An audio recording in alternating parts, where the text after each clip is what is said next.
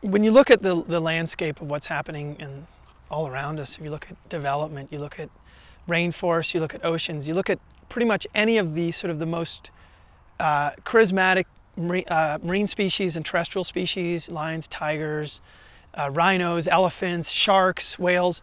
If you look at rainforests, you look at reef systems, you look at the oceans. For the most part, the news isn't good.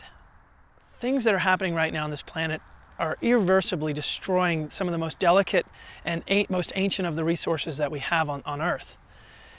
So we have to move quickly, and we have to move now to put an end to that destruction, and we all have to wake up.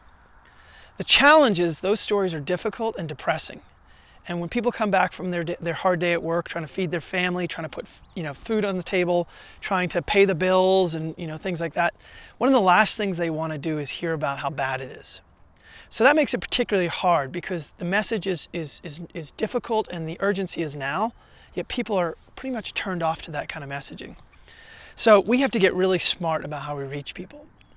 And for me, what I've realized over the last 15 years is inspiration is probably one of the greatest ways to reignite people and get and turn, flip on that light switch as much as I've, I've had to do a lot of work on the difficult side and I've gone in undercover in triads and mafia owned places around the world looking at some of the most destructive and heartbreaking fisheries and I've had to basically use that type of messaging in very small doses. And really the sort of the larger scale messaging that I'm using now is inspiration.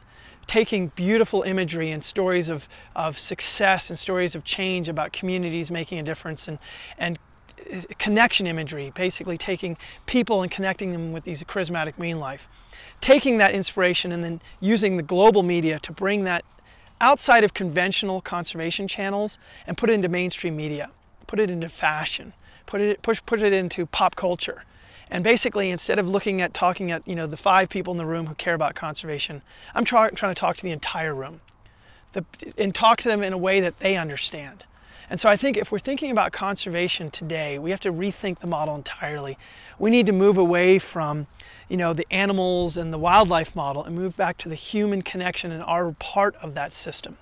And the way we do it is we have to basically jump forward into modern day pop culture, inspiration, passion, fashion, and make these animals a part of buildings out in the street and in, into fashion magazines and things like that. And I believe that if we can make that connection to everyday people, we're going to turn on the billion people and rather than depress them, we're going to get them super passionate about becoming part of the solution.